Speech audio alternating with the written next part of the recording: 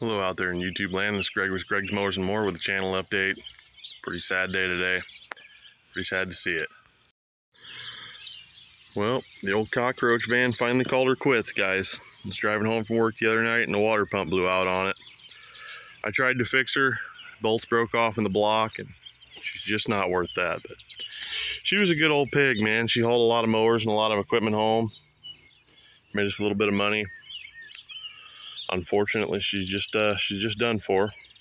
So thought i'd let you guys know you won't be seeing any more videos of me shoving mowers up in the back of the old cockroach van.